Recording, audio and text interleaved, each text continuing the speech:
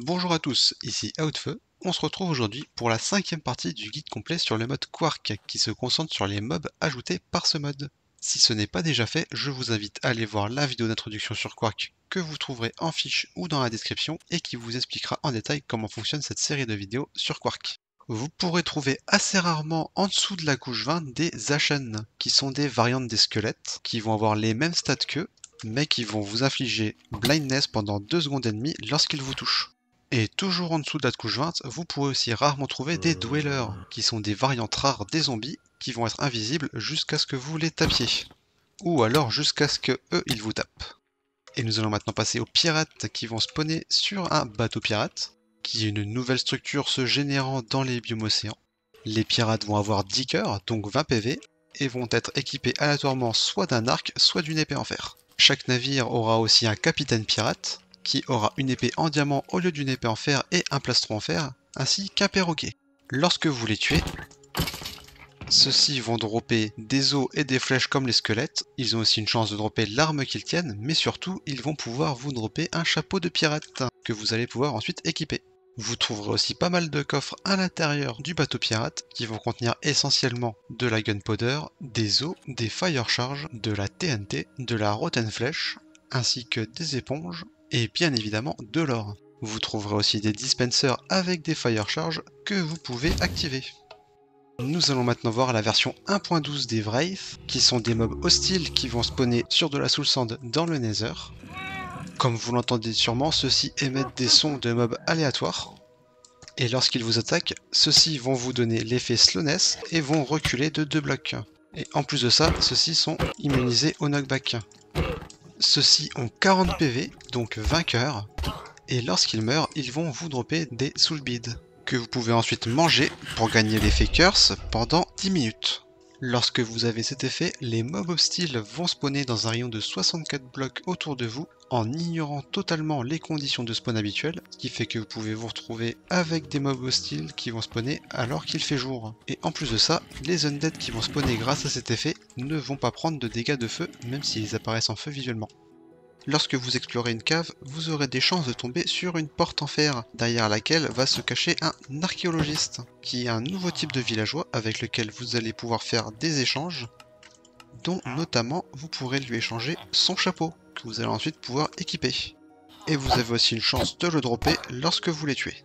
Et lorsque vous l'avez déquipé, vous avez une chance de dropper des minerais en plus quand vous en minez, comme si vous aviez l'enchantement fortune. Ensuite, nous allons voir le Warped, qui est une variante de zombie qui apparaît lorsqu'un zombie spawn sur de la cobblestone, que l'on verra plus en détail comment trouver dans la huitième partie qui se portera sur la génération du monde. Et celui-ci va avoir les mêmes statistiques que le zombie vanilla, mais va vous donner slowness lorsqu'il vous tape. En plus de ça, ceux-ci vont dropper de la cobweb lorsqu'ils sont tués. Quark ajoute aussi des grenouilles, qui sont très différentes de celles qui ont été rajoutées en Vanilla 1.19. Celles-ci ont 10 PV, donc 5 cœurs, et sont immunisées aux dégâts de chute. Et lorsque vous les tuez, vous allez dropper des cuisses de grenouille, que vous pouvez ensuite faire cuire dans un four afin de vous régénérer 4 points de nourriture. Et sinon, vous pouvez aussi crafter des cuisses de grenouille dorées avec, de la même manière que vous pouvez crafter des carottes dorées. Et celles-ci peuvent être ensuite utilisées afin de crafter des potions of leaping qui vont donc vous donner jump boost. Aux alentours de Noël, les grenouilles ont une chance de spawner avec un pull de Noël, mais vous pouvez aussi vous-même donner un pull de Noël à une grenouille en faisant clic droit dessus avec de la laine, et vous pouvez ensuite retirer ce pull en faisant clic droit avec des cisailles. Et vous pouvez reproduire des grenouilles en leur donnant des spider eye ou du poisson. Aussi, les grenouilles peuvent devenir plus grandes à force d'être reproduites. Par exemple, ici à droite, on a une grenouille de base, alors qu'à gauche, on a une grenouille après une dizaine de générations de reproduction. Et nous allons maintenant passer au crabe, qui va spawner sur les plages, et qui va agir comme un cactus sur pattes, car il va endommager tous les mobs qui vont rentrer en contact avec lui. Ceux-ci ont 20 PV, donc 10 cœurs, ainsi que 3 points d'armure, et lorsque vous les tuez, ils vont pouvoir vous dropper leurs pattes ainsi que leur carapace. Les pattes de crabe peuvent être ensuite cuites dans un four afin de vous régénérer 8 points de nourriture lorsque vous les mangez. Et les carapaces peuvent être utilisées pour créer des potions de stability, vous donnant l'effet résilience qui va lui-même en fait vous donner de la knockback résistance. Les crabes peuvent être reproduits avec du blé, du poulet ou bien du poisson. Il existe 6 variantes du crabe, la rouge, la verte et la bleue, ainsi que une variante de chaque qui va avoir des taches marron. Vous pouvez aussi faire clic droit sur un crabe avec un bucket d'eau afin de le ramasser. Si jamais un crabe est frappé par la foudre, celui-ci ne prendra pas de dégâts et grossira tout en gagnant un cœur en plus. Et une fois qu'un crabe a été frappé par la foudre, vous pouvez aussi faire clic droit dessus afin de le monter. Par contre, vous ne pouvez pas le contrôler une fois que vous êtes dessus. Et ceux-ci continueront de grandir à chaque fois qu'ils sont frappés par un éclair, sans aucune limite de taille. Et bien évidemment, ceux-ci apprécient la musique.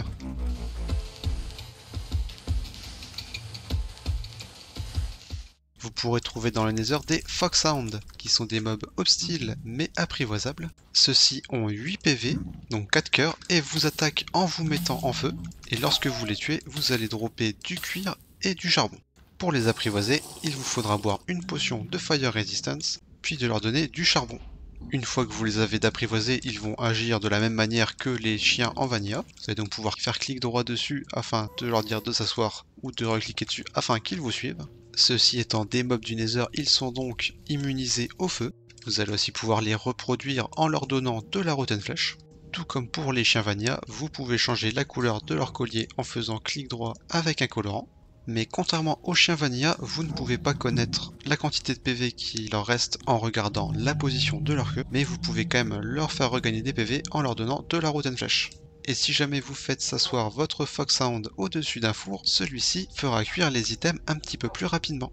Et si jamais un Foxhound spawn dans une Soul Sand Valley, celui-ci aura un skin bleu au lieu d'être rouge, mais fonctionnera de la même façon que les Foxhound rouges. Nous allons maintenant passer au Stoneling, qui est un petit mob que vous trouverez dans les grottes, et celui-ci portera toujours un item lorsque vous allez le trouver.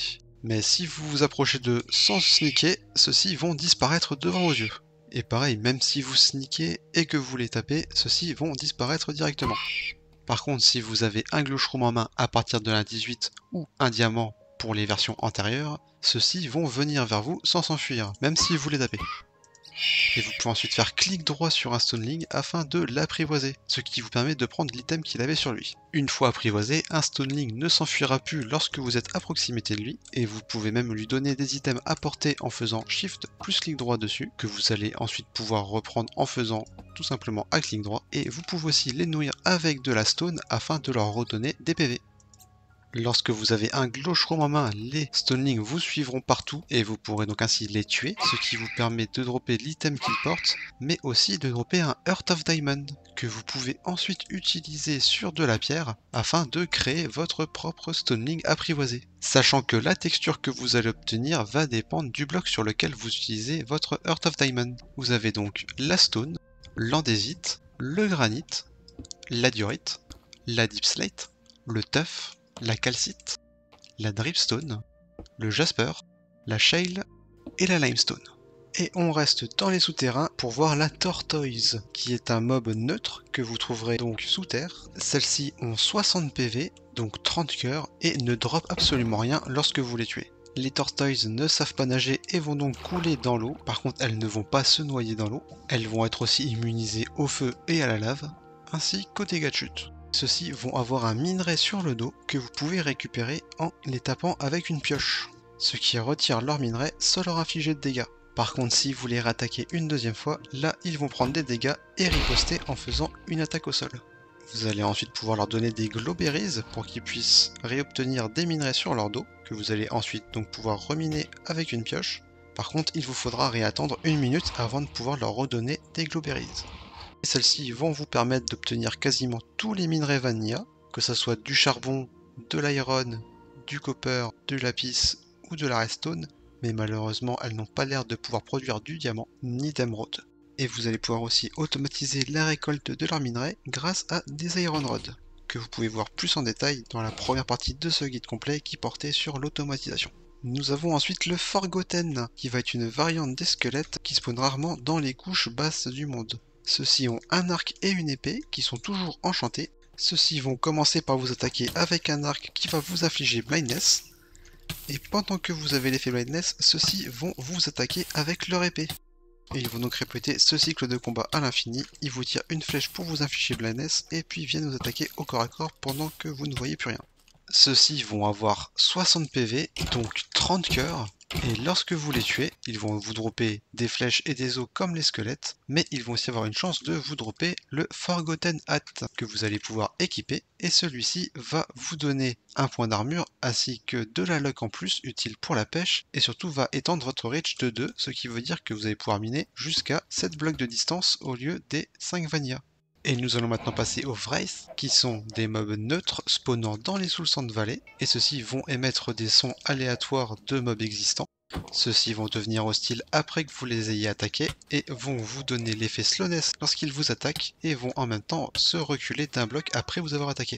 Ceux-ci ont 20 PV, donc 10 cœurs, et vont dropper de la Soul Bead. Celle-ci va être similaire au Eye of Ender, et lorsque vous faites clic droit avec, elle va émettre des particules qui vont se diriger vers la Nether Fortress la plus proche.